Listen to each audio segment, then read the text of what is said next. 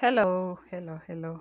It's been long being here, and um, I just thought of dropping something today. And I even don't know what I'm going to name this video because it's not a trading uh, strategy, neither is it, um, I don't know how to put it, but this is just something to trigger your mind and make you think outside the box. Okay. I love testing out new stuff and, you know, finding new hot points or spots that can be able to bring in more profit. So this is an eye opener for you. You remember the other time I gave you the the RSI uh, sweet points, reversal points. So this is more or less like a, a, a video like that. So it's not a strategy, so to speak, but just study and see how it will take you. Okay. So I'm doing it on mobile, but you can do it on on on your on your laptop as well. But unfortunately the mobile version and the pc version are not very the same. That you will notice some bit of differences but you can be able to use both platforms. And um,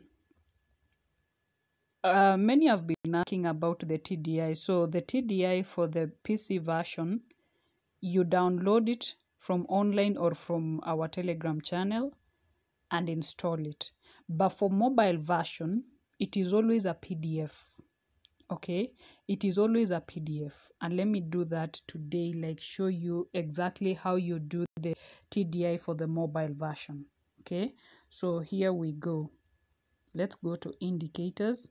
In the indicators this second window ignore these others. See this second window is where our our our TDI indicator lies. Okay, so how do you add this portion? You just come and click. This is the main chart. You click this F plus button, and when you click the F plus button, it will give you an opportunity now to add this relative strength index. Okay, so when you click on this F uh, F button, it will open a window like this. Okay, here and then you come and pick from your indicators you pick the RSI okay? So I'm not going to do that because I already have it. So when you add the RSI it will now give you an indicator window one which is now here. So what are the settings for the RSI so here. This here. Okay? Let's check so it is an RSI 14. Apply to close. Pixel 2 or where you can put 2 or 3 or whatever you want. And your colors should be something bright that you can see or darker if your background is a bit uh, a bit bright so you can put something darker and for the levels i love using 70 and 30 yeah but um the original version of the TDI it goes 68 and 32 okay? So but I love using 70 and 30 and then you add 10 and 90 and 50 so how do you add the levels? You just come and click the plus button and it will give you this plus sign here. It will give you the point of uh, an option of adding these other levels here. Okay? So after you've added your RSI okay that is complete. You now come and add uh, a Bollinger Band to the RSI okay so you add a Bollinger Band here. So these are the settings for the Bollinger Band. Period 34 deviation 1.619 shift 0 apply to first indicator data. This is the most important thing on this setup. Apply to first indicator data and then the levels you just leave it as it is. Okay? So how do you add the Bollinger Band on the indicator window one? You come and click here. Then it will give you all the indicators. Then you choose what you want to add. The second thing you add you add a moving average here. And come and uh, add moving average 34 shift 0 uh, method simple applied to this is a very important also first indicator data okay done The third indicator you come and add is indicator 7, though I'm not using that for now. So this 7, I will explain later what it does and still apply to first indicator data and simple. So currently I've put it to black because I will explain why I'm not using this level in my strategy. I'm not using it currently, so I've set it to the background color. Okay, so this is your chart here without the, the, the, white line that you're seeing. So it is this bright yellow, the blue Bollinger Band, the red middle line, which is called the market baseline, and then the lower Bollinger Band. Okay. So if I was to add the 7 one, you would see it going along the yellow line, but I'm not using that for this strategy. So why did I add something new to make it unique? I added another RSI. Okay, so let's check it from the settings. Uh, indicators. I added this RSI. Okay, this one. RSI 40 applied to close. Only that. RSI 40 applied to close. Uh, the levels is still the same as the initial one. Okay. And then, so lastly, this is how it will look. So from the colors, you remember this yellow is RSI 14 and this white is RSI 40. Okay. This yellow is RSI 14 and this, this white is RSI 40. So how does this uh, give you like what you need.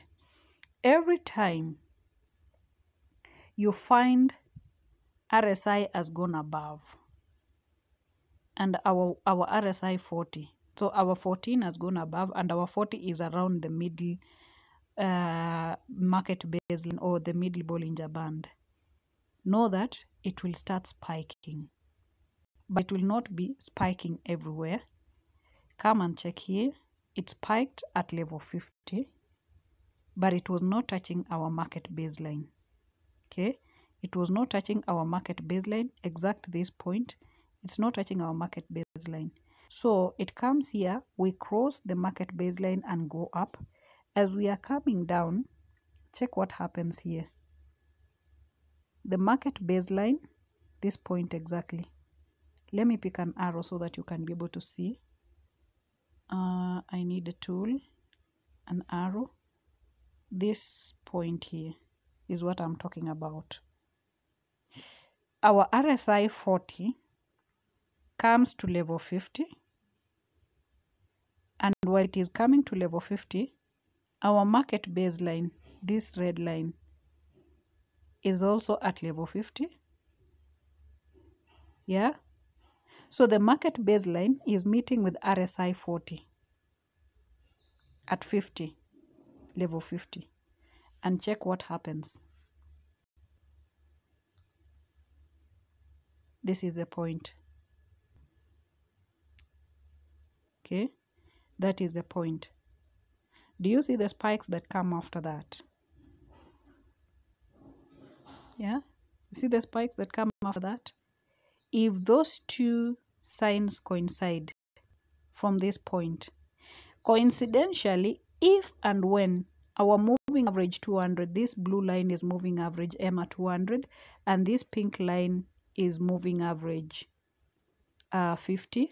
Okay, so if those two lines, sorry, sorry, sorry, sorry for that, I'll have to uninstall some stuff. So if at this point our moving average 200 was above us then for sure for sure level 50 is always a downtrend going down.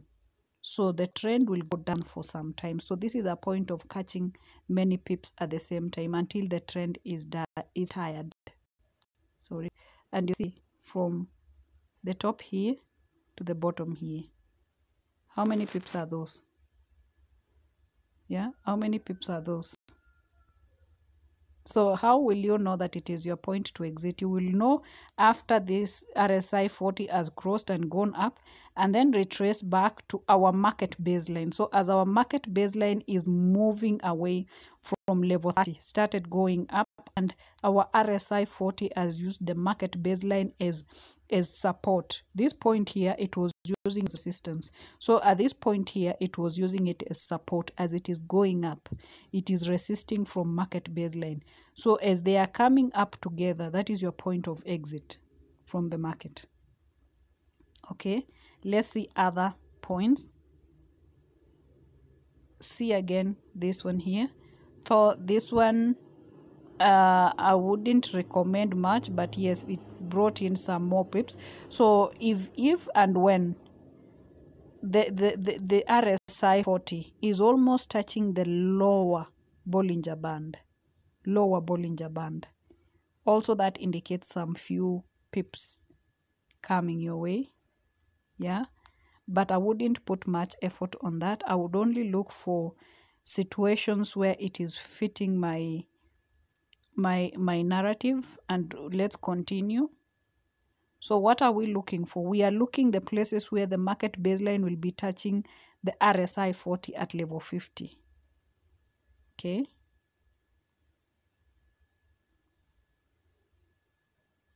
You see all this far? All this far? The spikes are coming but there's no connection. And you see we are struggling to go up.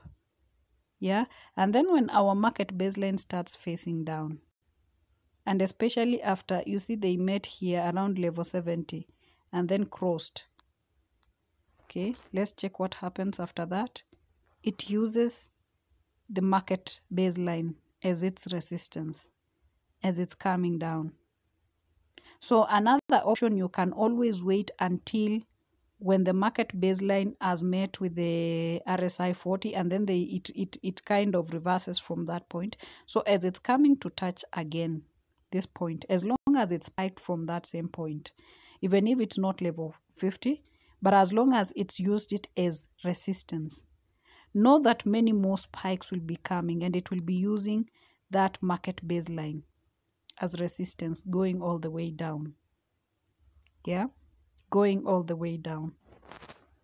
So let's continue. Where is your exit point again? Your exit point will be here your exit point will be here as the RSI 40 is using the market baseline as a support point.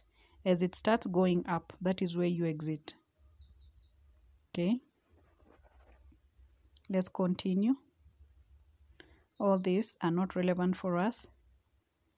You remember I told you anytime you will see it trying to go outside the lower Bollinger Band, sometimes you can be able to catch some pips there as well, but it's not my main concern with this strategy for now. Check here. They are meeting at around uh, above 50 a bit, but at least it spikes a bit and comes down. But it's not a proper trend, so to speak.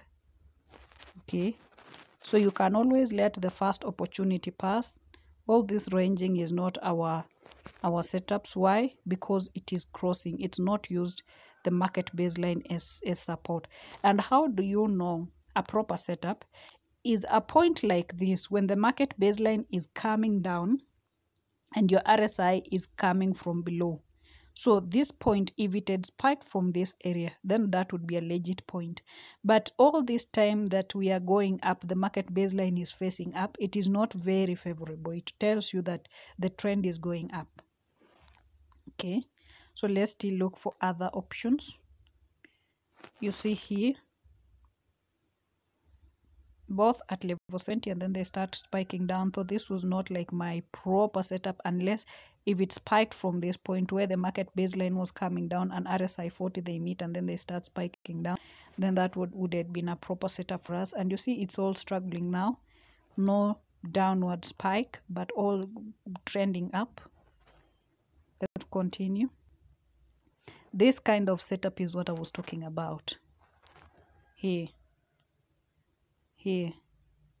We come and use the market baseline as our resistance. Yeah? And at that time we are above 70 check what happens after that. Ooh, sweet. Sweet. Yeah so that's it for this uh, tutorial guys it was just an eye-opener for you to see what usually happens the market does not just randomly move from point to point. And why I love using the RSI is that RSI does not repaint, okay? You can be able to, to, to test this strategy with many other uh, RSI levels. Like this one, I did it with RSI 40 and you see the sweet points that it gave me. Yeah. So test it with other uh, RSI levels. You can test it with that 30, you can test it with 50 and see which other point it will be able to give you. And let it be, it is spiking from the market baseline. That is the main point to take home from this video. So that's it for this tutorial guys and uh, happy trading and God bless you. Bye.